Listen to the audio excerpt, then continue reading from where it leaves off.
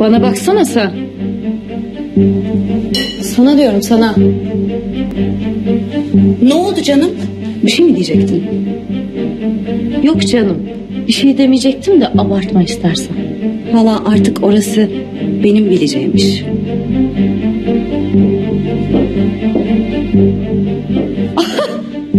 Allah Allah.